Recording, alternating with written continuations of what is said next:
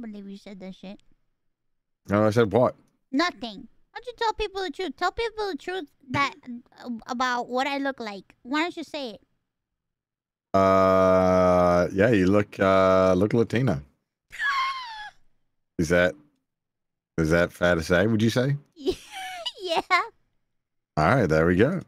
Yeah. Look Latina. I um. look Latino. It's true. I don't know. I don't know how else to. What do you mean by Uh, that? You, okay, no, look no, no. That's a bait. Now that's a that's a bait. I, that's I could hear the the rope being cranked on that trap. What do you mean by that? Uh, I think uh, what I mean is that we should play games. You mean I'm not a man? Oh, I just didn't want to reveal that. You know, sorry. I just didn't want to tell people that. I've been seeing some like the craziest shit on Twitter of people like saying stuff about Yeah, me. but I mean that's that's literally that's Twitter doesn't Twitter doesn't. I think like if you're expecting people to be rational and normal on Twitter, you, you're on the wrong platform. people call someone called me an industry plant.